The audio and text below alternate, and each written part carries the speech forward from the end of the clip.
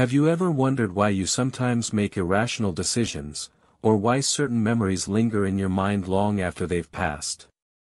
The human mind is a vast, uncharted territory, full of mysteries waiting to be unraveled. As we delve into the realm of psychology, we begin to uncover the hidden patterns and biases that shape our thoughts, emotions, and behaviors. One fascinating fact, for instance, is that our brains are wired to respond more strongly to negative experiences than positive ones, a phenomenon known as the negativity bias. This innate tendency can have a profound impact on our mental well-being and relationships. Psychology, the scientific study of the human mind and behavior, has made tremendous strides in recent decades.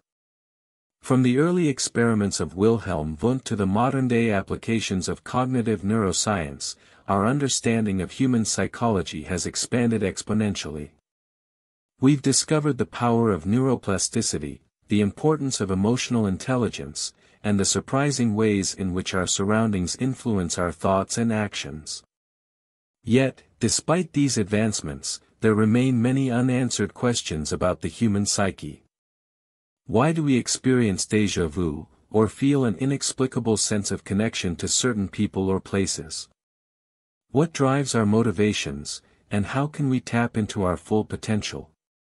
As we embark on this journey into the world of psychology, we begin to encounter a multitude of intriguing phenomena that defy easy explanation. The Dunning-Kruger effect, for example, suggests that people who are incompetent in a particular domain often overestimate their own abilities, while the Baader-Meinhof phenomenon reveals how our brains can create illusions of patterns and connections where none exist.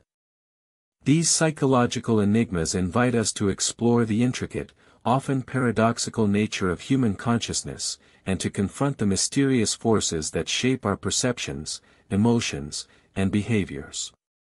And that is why this topic remains one of the most fascinating mysteries of our time.